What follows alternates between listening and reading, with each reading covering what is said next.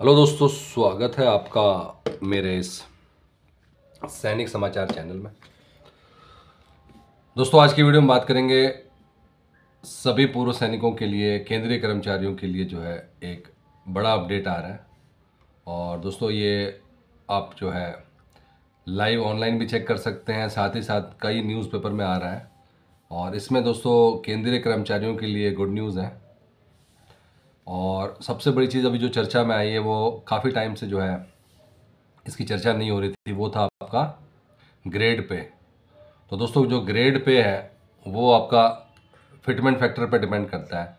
तो दोस्तों, अभी का आज के अपडेट में बात करेंगे कि लगभग जो है, अगर फिटमेंट फैक्टर में चेंज होता है ग्रेड पे में forty nine thousand four hundred twenty जो है, का उछाल आएगा इसमें।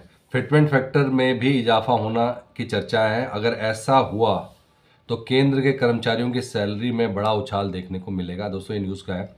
सेवन्थ पे कमीशन के तहत फिटमेंट फैक्टर के इजाफे से केंद्रीय कर्मचारियों की सैलरी में एट एट सिक्स ज़ीरो रुपये का इजाफा होगा।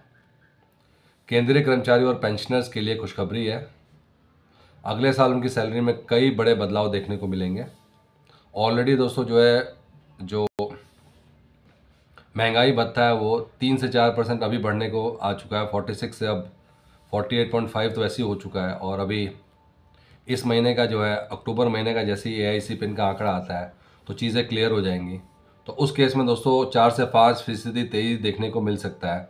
इससे हाई सैलरी जो ब्रैकेट है, जिनका कि क्योंकि जब भी इजाफा होता है, जिनकी सैलरी ज़्यादा है, उनको इसका ज़्यादा बेनिफिट मिलता है। तो अगर हम सिर्फ़ और सिर्फ़ हाई सैलरी ब्रैकेट की बात करें इसमें तो उन कर्मचारियों के लिए दोस्तों जो है बहुत बड़ी रकम है जो कि इसमें इजाफा होगा।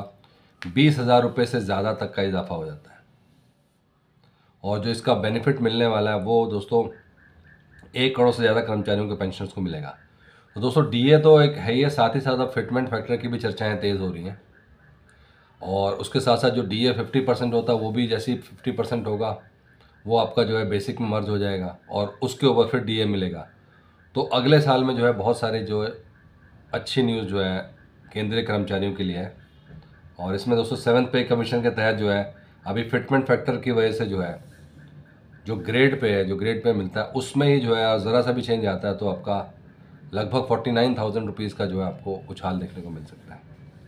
दोस्तों, ये था आज का इम्पोर्टेंट अपडेट सभी केंद्रीय कर्मचारियों के लिए फिटमेंट फैक्टर और जो डीए में वृद्धि होने वाली है दोस्तों, अगर वीडियो पसंद आए तो इसको लाइक कीजिए शेयर कीजिए और सब्सक्राइब करना ना भूलें।